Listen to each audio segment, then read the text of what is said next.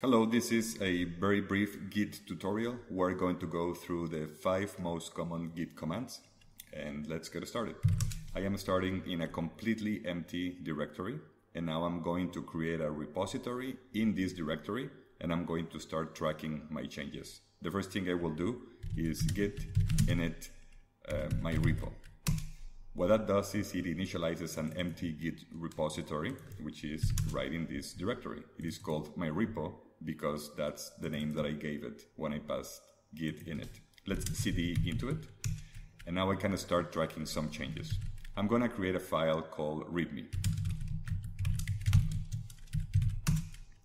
This is just a regular text editor. I also happen to use Emacs, but obviously you can use whatever you prefer. I will say this is the uh, Git tutorial. And I'm going to save it. I just saved it and I'm going to exit my Emacs. And if I now go with a second command, which would be git status, it would tell me that I am on a branch called master, that I have no commits, and that there are some untracked files in this directory, in particular the file, the file called readme.md. Now, how do I make sure that this file is tracked by Git? The first thing that I have to do is to add readme.md into the staging area of Git. I will explain much later what the concept of a staging area is, but for now, it suffices to say that I git add readme.md that will tell you that it is a change that is ready to be committed, so it is staged, but I have not committed it yet, so I have to do that. Git commit, and I provide a commit message. I will say create repo add readme. And now if I finally do git status again, it'll tell me that I am on branch master and that there is nothing to commit, the working tree is clean. Namely that everything that is under this directory has been committed into the Git repository. So let's review again. We checked init, which is for initializing a Git repository, status, which is to retrieve the current status of the directory where I'm working on. Then we did add, which is to pass a file from the regular working directory into the staging area of Git. Then we did commit, which if I pass with a, a, flag minus M for message and I provide the message, then it will add it there. I will uh, explain a final command called log, git log. It will tell me what I just did. It has the commit, which is given a unique identifier, who did it, when did you do it, and what did you do, which is what the description that you provided. Let's do other modifications to that file. So I'll open up the file again. Uh, that's my readme.md uh, file. And I will say, I just showed you uh, six commands, uh, which were init, um, status, add, commit, I guess log, they were five. well, if I know how to count, would be better.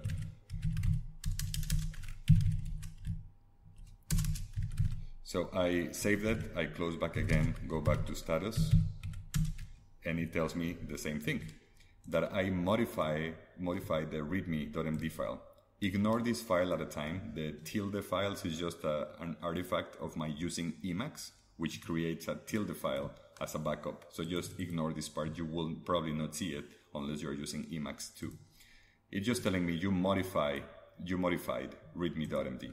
So I have to add readme.md and uh, commit uh, give me uh, the, the, change that I just put there and it'll say uh, up, update contents of readme.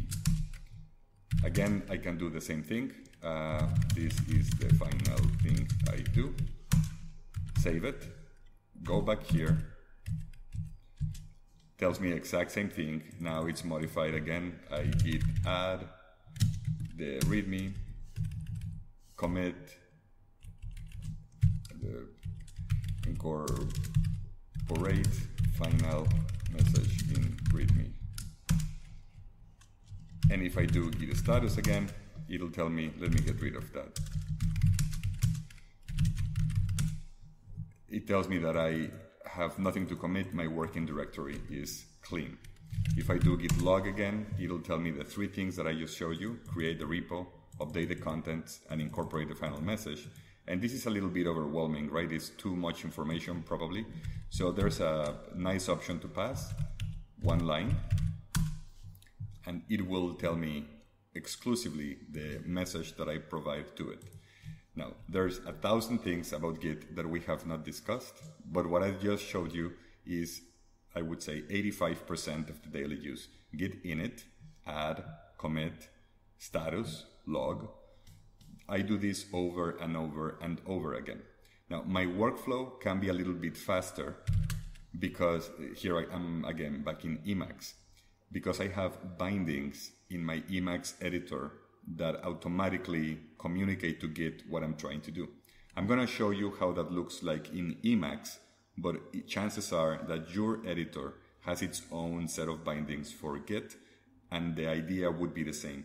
By learning those bindings, which are is normally a shortcut with a keyboard, you can work very, very fast. In my case, if I just make a change and I say uh, this is a change I promised not to do. And I just save it and I do Control X VV and then Control X VV. It'll, I do it twice. One is for adding and one is for committing. Notice how it's popping a screen telling me the summary. This is the equivalent of that message. I say add another change and then I close it. Then I add yet another change save it, Control X VV, another summary, uh, continue adding changes. And I, again, get out of there. Final, final change. Save, VV, uh, finalize for real. So notice how I did not have to leave my uh, terminal. I did not have to close Emacs. I did not have to do anything strange. As a matter of fact, we barely noticed that I was interacting with Git. The point that I'm trying to make here is that the sooner you get used to the bindings for your editor, I don't know if it's Microsoft, uh, uh, I think it's called uh, Visual Code or something like that, or any of the modern editors that you can find for free in many different places, uh, they will have some set of uh, shortcuts the sooner you learn them, the quicker Git will become a second nature and you will be able to do very specific and brief changes. The secret of Git is to track as discreetly as possible. So why? So that your Git log one line can look uh, orderly. Notice how I always use an imperative voice, namely I start with a verb. I start with an uppercase, then I continue as a normal sentence, I always start with a verb in imperative voice. I never go past 70 characters and I never put a period at the end. If you do that, then you are able to have this very, very clean log of changes. If someone needs you to communicate to them what is the last set of things that you did, you can just run that command, put it in a, a mail.txt message. And when you want to send an email, you simply uh, copy paste and you tell them what you did. That's one reason. Another reason is that it's much easier to know uh, what you did when it starts with a verb. Imagine that you are telling the computer what to do and then it magically does it. Uh, that's how you could read the log. Computer, create a repo, add a README, update the contents of the README, incorporate the final message. So if you could imagine having a magic wand and telling the computer what to do, uh, just use that as your commit message the final thing, if you cannot uh, state it clearly and in less than uh, 70 characters, it's probably that your change was too big. And that's a very good indication that your change was too big. The problem when you add very big changes is that it's impossible to incorporate a few of the modifications if something was wrong. If I modify 50 files in a single commit, then it becomes I either eat the 50 files, possibly with, a, with an error, or it's better to receive 50 commits, even if each one of them is very small. I can say, okay, these 47 commits are okay, so I can eat them and know that everything is fine. and the other three, I can just, you know, pay more attention to them. So this is just the very, very, very basics on how to use Git in the command line. And I will create more videos to show you more advanced uh, usage of, of Git. Uh, if you learn it like this and you practice with it for about, I don't know, a couple of weeks or so and really try to make it a second nature as you are working, using tools meant to simplify Git will become much more powerful. However, if you go right now and start using a tool, uh, there's many tools out there for simplifying how to use Git. If you go r- straight ahead and try to use those tools, you will never quite understand how Git works, and it will be much more confusing uh, to use those tools. The tools are full of buttons, they are full of options, they are full of settings, and it becomes overwhelming to understand what the tool is actually doing. In reality, believe me, those five uh, uh, commands that I just showed you, init, add, commit, status, and log will be, for the most part, what you do every day.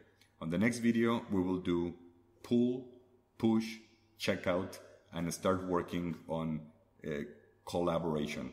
Namely, when you have one repository here, but you want to interact with another person that has another repository, or when you interact through a common server, for example, GitLab or GitHub.